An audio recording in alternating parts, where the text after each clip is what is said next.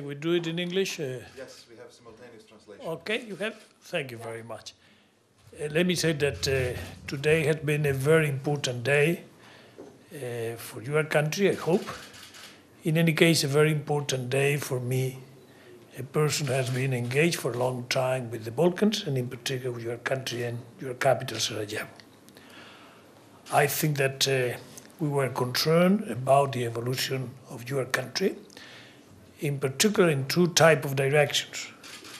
One, the direction which uh, make the country closer to the European Union, and the second, which is related to the first, uh, with the lack uh, of uh, common action by the leaders in having a clear position in trying to solve the problems of the country. I think the visit today, together from the, the United States, Vice President Biden, and from the European Union myself, with the idea the, of having a clear discussion with the leaders of the country to see how we could help in one side, and the other side to tell them what we should, we should, or we thought that they should do in order to get out of the situation which we are now. From that point of view, from both points of view, I think uh, the visit can be defined as a successful visit.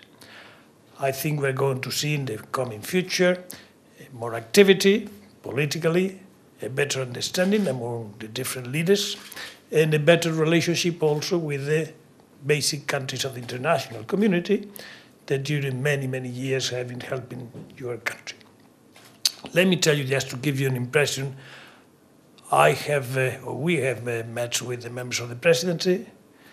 We have met uh, with the eight leaders of the different political parties. We have met with the prime minister. You have been in the session in the parliament in which you had the opportunity also to meet with several of the leaders of the parliament.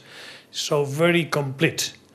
I had the pleasure of seeing many, many friends, which for some time I have not met, I have not seen. Although, as I, I like to tell you also that in the last month, I had received all the important leaders in, Brussels, in Brussels in different occasions, uh, one by one, in order to prepare this visit well. I think, therefore, that has been a successful trip, successful visit. I hope they will have consequences, uh, consequences better, consequences possible for your country. At the end of the day, your country, the citizens of Bosnia and Herzegovina, that we care about and uh, we would like uh, to transmit to the people at large, to the citizens of Bosnia and Herzegovina, that the friends that were with you in times of difficulty continue to be with you in these times of hope. Thank you very much. Questions? To je to? Ima pitanja? You know, I, Uh, Amra Osmanovic, AFP News Agency. Uh, are you more optimistic about Bosnia's future now than you uh, were this morning? And uh, did the Bosnian leaders pledge anything to you and Mr. Biden? Now, the first part of the question is the general nature. Yes, I feel more uh, optimistic. I look at the future with uh, better eyes. I think that, as I said before, the type of discussion that have taken place have been rich discussions. They have understood, I hope, the positions of the international community, and we have understood some of the problems that uh, the leadership has. And I think that after this debate, uh, positive things may come up. Now, pledges. I think that the pledges are uh, very clear. As you know, there are five plus two five conditions plus two elements that have to be complied by the authorities of the country in order to continue moving in what has been the policy of the European Union, which is the same policy that the United States, as you have seen today, the policy of the United States and the policy of the European Union is the same, in order to be able to move from a phase that was defined with the face of the international high representative to a phase in which uh, the proximity to Europe will be closer, and therefore will move into a European special representative. Uh, that will not happen tomorrow, but this is the way in which we are going to be moving. And um, in that direction, the pledges have been clear that in a short period of time, the mechanisms, the decisions, the changes that have to be produced in order to, to for that change to take place, it will be done.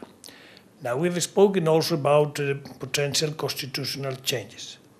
As you know, this is a very difficult issue that uh, cannot be resolved in 24 hours. But I think the idea, or the ideas, of in what direction, in what manner, in what uh, geometry the changes in the constitution could be done, not, as I said, not for tomorrow, but if possible before the election in 2010, probably may move. If not everything, at least some basic elements that will produce changes in the structure of power and the structure of government that will make a country much more functional in the time that we are living.